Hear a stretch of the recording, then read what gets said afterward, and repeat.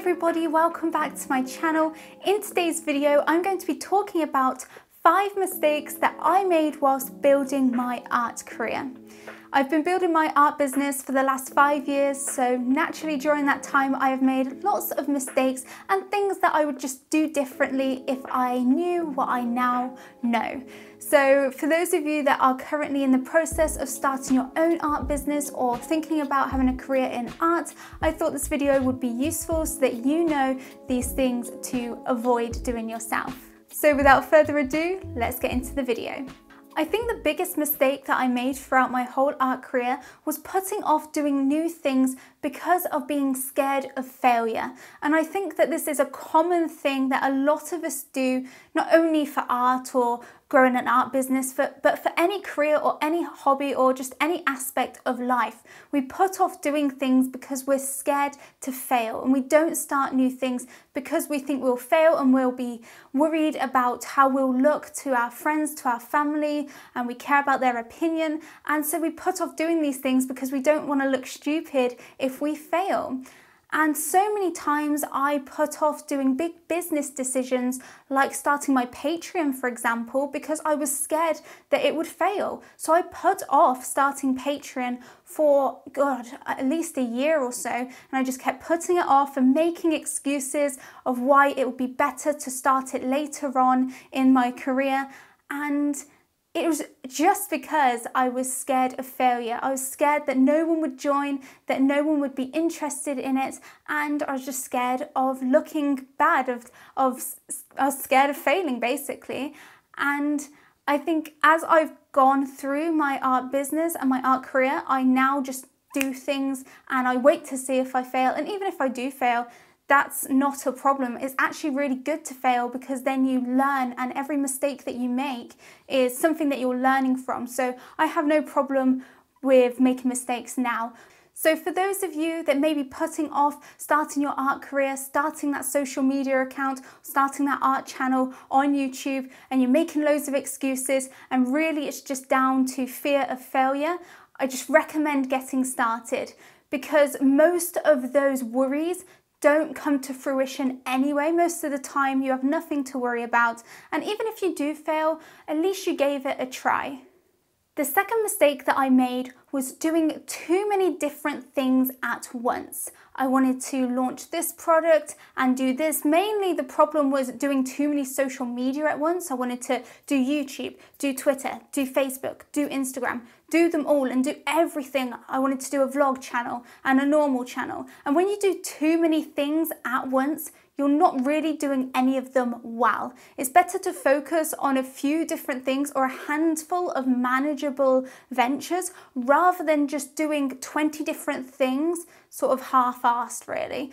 So I recommend if that's your problem, if you're just doing way too many things and you're trying to do everything, try and scale it back because you can't grow everything really well and you can't put your all into 20 different things. Focus and try and prioritize on the, the most important things and the things that are going to scale your business or art career the most and focus on them and really try and build a strategy where you're prioritizing certain things and where you're figuring out what's the most important for your art career and just focus on those things. Don't try and do 15 different things.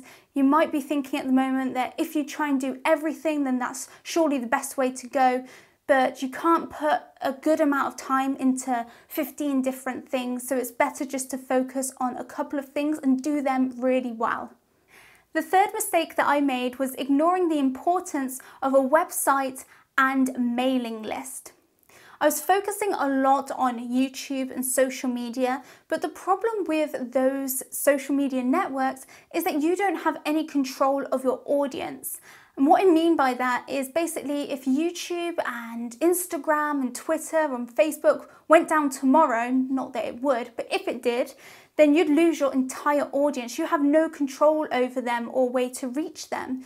But having a website or mailing list is great because that is something that you are in control of. You have control over your website domain and your mailing list. So if anything happened, you have a backup plan of where people can find you and you don't lose all of your business. So, a mailing list is something that I've been focusing a lot on over the last few months in particular, and I've definitely learned the importance of it. And I was undervaluing a mailing list so much. But it's great because it's a place where I have direct communication with my audience and I can directly update my audience and talk to you guys through my mailing list and through emails. And it just gives you a bit more peace of mind because you know that if everything went down tomorrow, your email list and those contacts is still something that you have and you don't lose your entire audience. So it gives you a little bit of stability. And the same thing with a website. I didn't make a website for the longest time. I think it's only been the last year or so that I started a website, even though I knew it was something that I should do. For some reason, I was just putting it off, saying it's not that important. But it is super important because it's a hub where if someone wants to check out everything you have to offer or everything you're doing, they can just go there and look at what you are currently doing, what products you have to offer, what things you're selling, or your different social medias. Everything like that you can put in one place. So it's definitely important to have a website as a hub where anyone can find you and if they Google you, it will come up so that you don't lose your business because people can't find you. Mistake number four is self-promoting on other people's content. Now, this is the mistake that I am the most embarrassed about because it really is not good. You don't want to do this.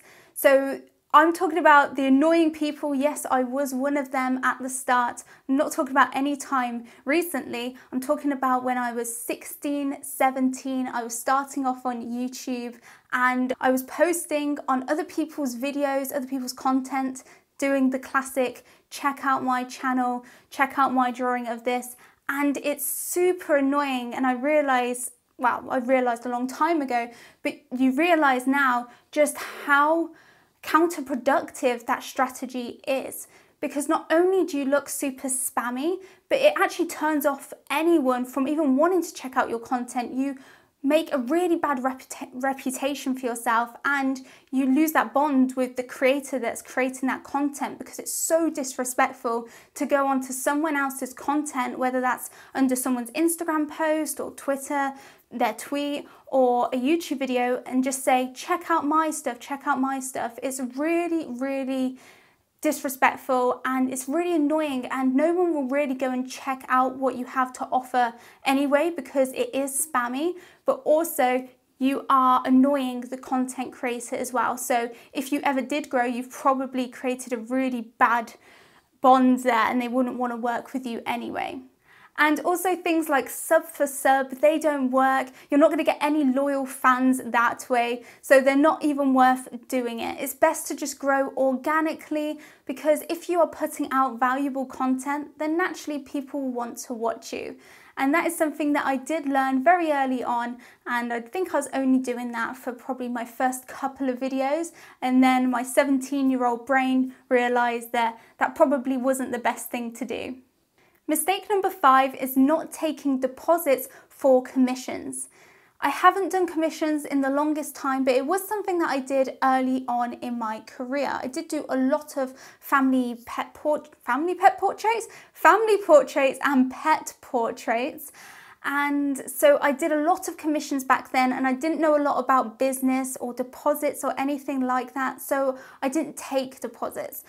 And I did learn the hard way that if you don't take deposits, you can work super hard on a drawing or painting and then someone just ignores you. Either they ignore you or they don't want to pay you and you've put in all of that time into your artwork.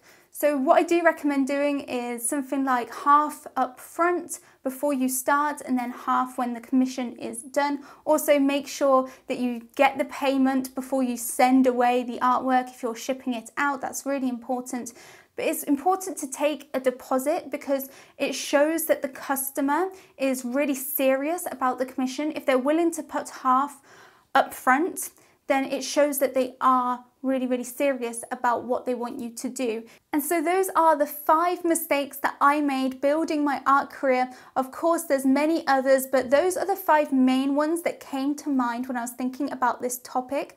I'd love to know in the comment section if you want to see more videos like this and what sort of business topics you want to see videos on.